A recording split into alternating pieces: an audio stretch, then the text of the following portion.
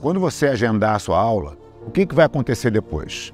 Você vai ter sua data e hora marcada, você vai chegar na academia, a gente já vai estar te esperando, a gente vai ter o teu kimono separado, o seu professor já vai saber quem você é. Você vai começar a sua aula de uma forma muito leve, entendendo primeiro os princípios da alavanca e um aquecimento muito lúdico já nas técnicas do jiu-jitsu que vai fazer você ter um entendimento de como é a luta.